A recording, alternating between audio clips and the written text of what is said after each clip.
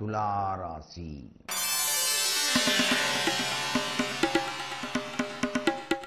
ప్లవనామ సంవత్సరంలో తులారాశి యొక్క సంవత్సర ఫలితాలు చూసినట్లయితే ఆదాయం రెండు వ్యయం ఎనిమిది రాజపూజ్యం ఒకటి అవమానం ఐదు.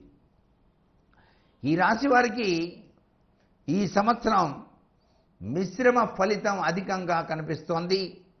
అనుకున్నది ఒకటి జరిగేది మరొకటిగా ఉంటుంది. మనోవాంఛలు సిద్ధించడం కించెత్తు కష్టంగా ఉంది. స్వశక్తి సామర్థ్యాలతో కొంతమేర మీరు పైకి రావటానికి ప్రయత్నం చేస్తారు. సంఘంలో గౌరవాదులు తగ్గే ప్రమాదం ఉంది. తస్మాత్ జాగ్రత్త. స్థాన చలన సూచనలు ఉన్నాయి గృహం కూడా మార్చే సూచన ఉంది. ప్రయాణాల్లో మీరు చాలా జాగ్రత్త పాటించాలి.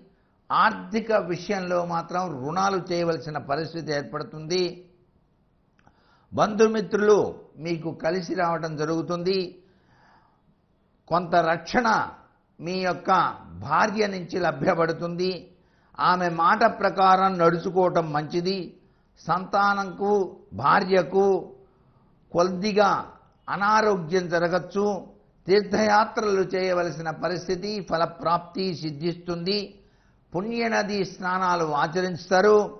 మీకు తెలివితేటలు ఉన్నప్పటికీ కూడా శని ప్రభావం వలన అవి పనిచేయకుండా ఉంటాయి ఈ సంవత్సరం. ఉద్యోగస్తులకు ఈ సంవత్సరం పర్వాలేదులే అనిపిస్తుంది. అష్టమ రాహు ప్రభావం చూపిస్తుంది. సుదీర ప్రాంతాలకు బదిలీలు కుటుంబానికి దూరంగా ఉండటం జరుగుతుంది. కేంద్ర రాష్ట్ర ప్రభుత్వములందు పనిచేసేటువంటి వాళ్ళకి ఇబ్బందులు అధికంగా ఉంటాయి. రాజకీయ నాయకులకి ఈ సంవత్సరం బాగుంది. గురు శనుల బలం బాగుంది కాబట్టి ప్రజల్లో మంచి పేరు ప్రఖ్యాతలు తెచ్చుకుంటారు. అష్టమ రాహు వలన శత్రువర్గం వలన కొన్ని దుస్సంఘటనలు మీ పేరును దెబ్బకొట్టే ప్రయత్నాలు జరుగుతాయి. నామినేటెడ్ పదవైనా సరే మీకు వస్తుంది. కళాకారులకు అనుకూలం టీవీ సినిమా రంగంలో వారికి మంచి అవకాశాలు విజయ పరంపరలు లభ్యపడతాయి ఈ తులారాశి వారికి.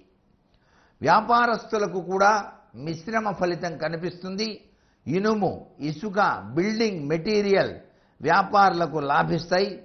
కిరాణా హోటల్స్ కాయగూరల వ్యాపారులకు విశేష లాభాలున్నాయి. సరుకు నిల్వ చేసేటువంటి వ్యాపారులకు కూడా లాభమే.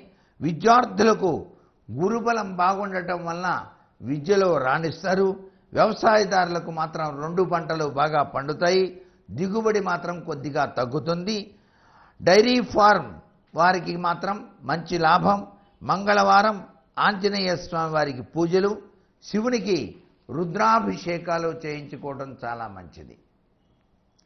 ఈ రాశివారు ధ్యానం చేయవలసినటువంటి స్తోత్రం వందే శంభుముమాపతిం సురుగురుం వందే జగత్కారణం వందే పన్నగభూషణం మృగధరం వందే పశూనాం పతిం వందే సూర్యశశాంకవక్నినయనం వందే ముకుంద ప్రియం వందే భక్తజనాశ్రయం చ వరదం వందే శివం శంకరం. ఓం నమ శివాయ అనుకోవాలి.